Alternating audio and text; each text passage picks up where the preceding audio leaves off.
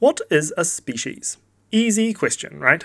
You just look at the creature, and if it looks different, it will be a different species. For example, polar bears are a different species of bear to black bears, field mushrooms and fly agaric toadstools are obviously two species of fungi, and the white admiral and red spotted purple butterflies are obviously different butterflies. Except something happens where the white admiral and red spotted purple butterflies share a habitat we find mixed butterflies, the offspring of the white admiral and red spotted purple butterflies, happily going about their butterfly lives. Obviously, looks can be deceiving, so we need a better definition, so perhaps I should elaborate.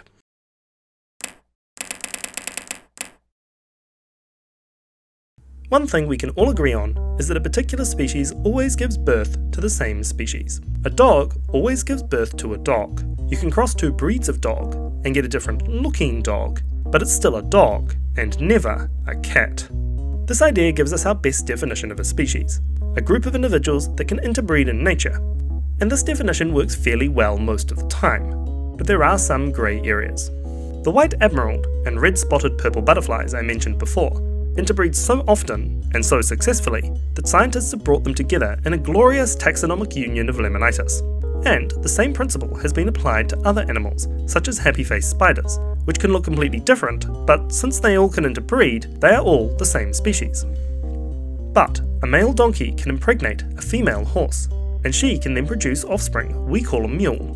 But since horses and donkeys have different numbers of chromosomes, these mules are infertile, and so the offspring, although a hybrid, do not bring the two species together.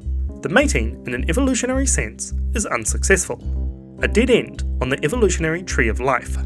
This line can be considerably more blurry. Hooded crows and carrion crows look different, but where they share a range, they can hybridize and produce fertile offspring, and so they were considered the same species. However, not anymore, as in 2002, the hooded crow was elevated to full species status, as the hybridization was both less than previously thought, and the hybrids had noticeably decreased vigour.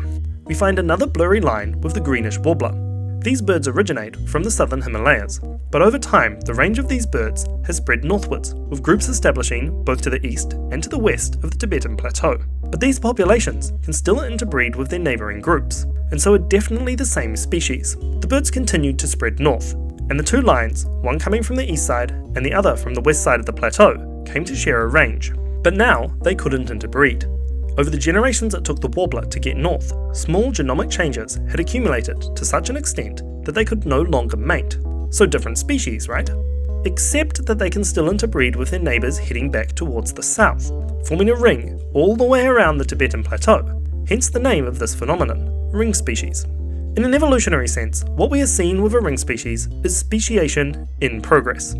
And if the ring were to be broken, the two resulting groups would diverge and complete the speciation event, resulting in two fully distinct species.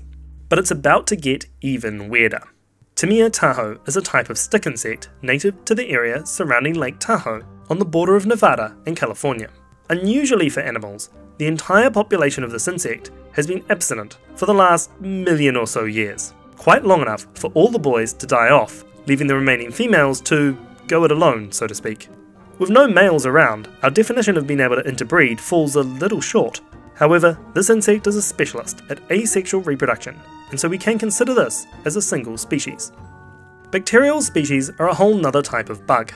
In the 19th century, things were simpler. Bacteria were named and divided into species based on their pathology, Mycobacterium tuberculosis being the causal agent of tuberculosis, Clostridium tetani causes tetanus, and Neisseria gonorrhoeae causes gonorrhea. But these days, things are a little more complicated.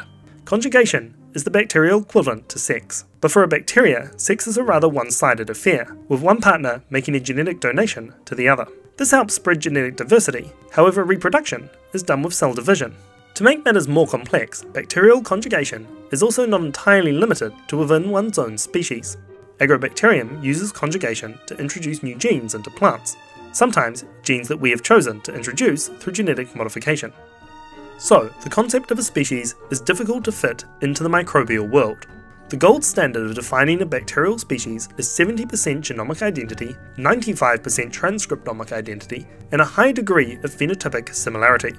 And all three of those criteria are rather arbitrary.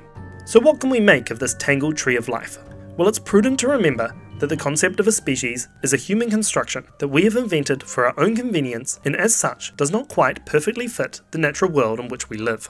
However, it can still be a useful tool to help us understand the world around us.